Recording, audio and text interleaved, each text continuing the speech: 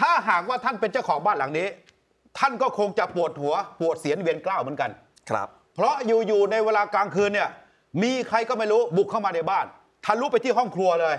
หาอาหารทำเมนูกินข้าว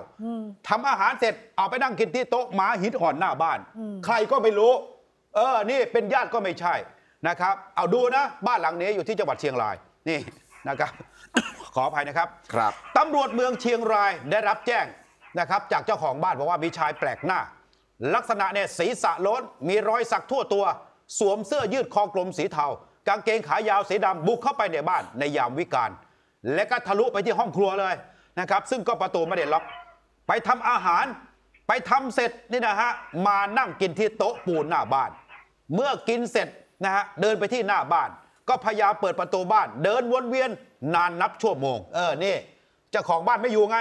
เขามาดูกล้องทีหลัง เหตุเกิดเวลาประมาณสักตีสามวันที่ 19 เมษายนที่ผ่านมา ที่บ้านหลังหนึ่งอยู่ที่หมู่ที่ 3ตำบลรอบเวียงอำเภอเมืองจังหวัดเชียงรายนะครับเหตุการณ์นี้เจ้าของบ้านมาเดินเจอคลิปนี้เอาคลิปนี้ไปแจ้งความไว้ก่อนอืมนักข่าวก็เลยลงไปที่บ้านหลังนี้สินี่นะครับ เจ้าของบ้านชื่อว่านางสาวอุมาพรอินคำอายุ 32 ปีเล่าให้ฟังครับนะฮะเมื่อช่วงสองทุ่มเนี่ยขณะที่เธอออกไปทำงาน สังเกตเห็นผู้ชายอายุประมาณ 40 ปี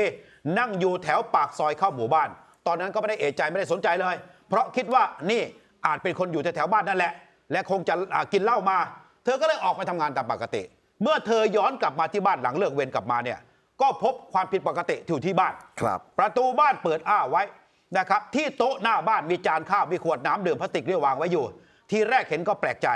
เดินเข้าไปดูที่ห้องครัว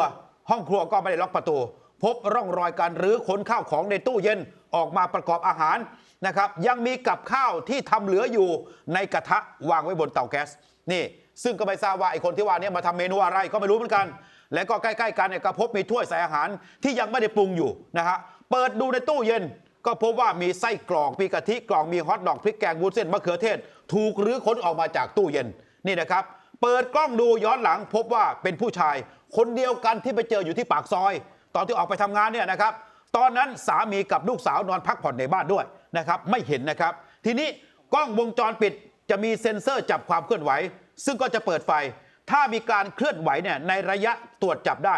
ชายคนดังกล่าวก็คงจะตกใจกล้องแหละว่าอย่างนั้น แต่เขาไม่สนใจหรอกกล้องไม่กล้องไม่ไม่สนใจครับเข้ามาในบ้านนะครับ มาหาข้าวหาของกิน มาเปิดตู้เย็นเอากับข้าวเนี่ยไปทำในครัวเนี่ยทำเฉยเลยนะกงแกงกงแกงกงแกงเนี่ยนะครับพอทำเสร็จเอายกออกมากินพอกินเสร็จเอาเดินวนไปวนมาอยู่หน้าบ้านประมาณสักหนึ่งชั่วโมง แล้วก็ออกไปตอนไหนก็ไม่รู้ เพราะว่ามันรับมุมกล้องออกไป เห็นไหมนี่ดูสภาพนี้นะครับ เอาฟังเสียงหน่อยนะครับเนี่ยเจ้าของบ้านฮะก็คุยกันในไลน์กลุ่มหมู่บ้านนะคะ ว่าเราเจอเหตุการณ์แบบนี้ ที่เขาก็ส่งกล้องบันทึกบ้านแต่ละบ้านนะคะมาให้ดูว่าเขาก็พยายามเข้าบ้านคนอื่นเหมือนกันนะคะคือไล่ตั้งแต่ซอยหนึ่งมาเลยเขาก็บอกว่าเมื่อคืนเขาได้ยินเสียงหมาเห่าทั้งคืนเลย แล้วก็ยังไม่เจอนะ